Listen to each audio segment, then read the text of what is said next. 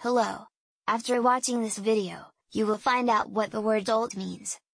A person with poor judgment or little intelligence. A person who is not very bright, the economy, stupid. A person who is not very bright, the economy, stupid. A person who is not very bright.